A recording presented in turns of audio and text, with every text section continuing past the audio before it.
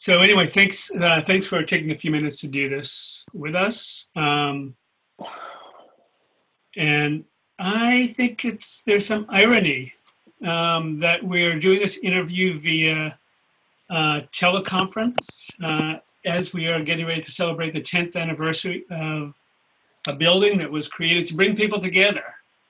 And here we are socially distanced and electronically distanced apart, but um, we're here to talk about this this building that has brought us together, um, and in a very public way. And so the first thing that I'd like to bring up is um, I remember so clearly that when you came on the project um, and you learned just how public a building this was, that it was a state-owned building, that it was owned by the citizens, this collection was owned by the citizens, that it struck a chord with you that I think began uh, a process with you in thinking about lowercase d, as we've talked about, a democratic uh, place and making a place that reflected the nature of of the building. And um, I think it, there was conversations at the very beginning, and I wonder if you could talk a little bit about um, how that affected you in those early days.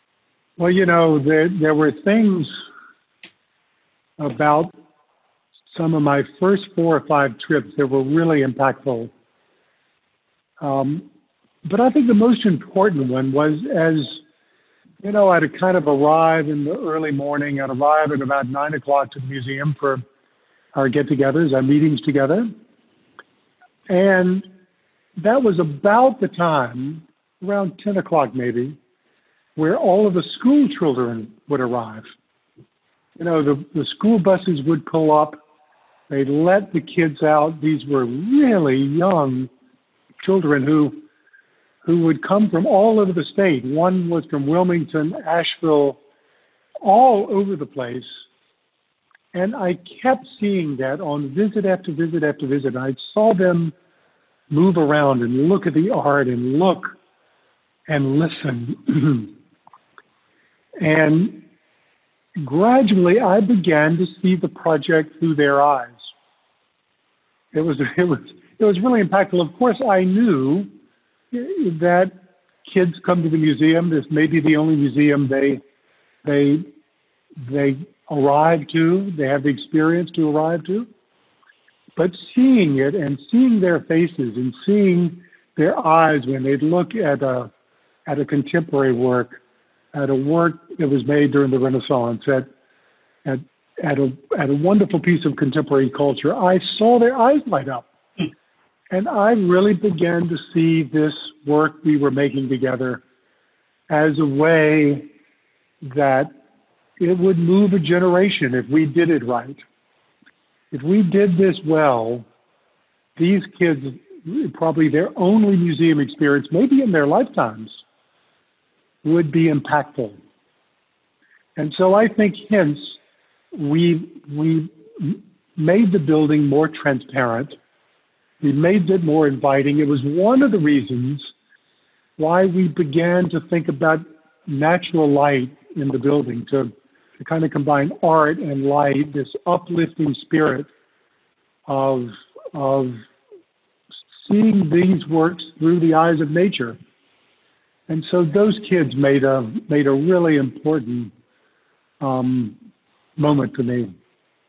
You and Larry gave me my first opportunity to make a museum, and we thought very early on about what the values were going to be of the building.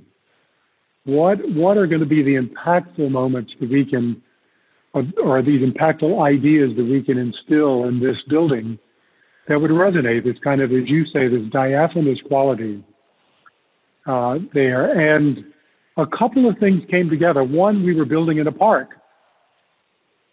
And so nature had to be a part of this, had to be infused in the experience of moving through the museum. We also had plenty of land, and the museum was free.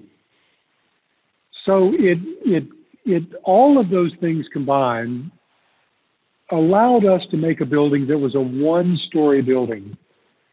and speak early on about the idea that nature is not just trees and grass,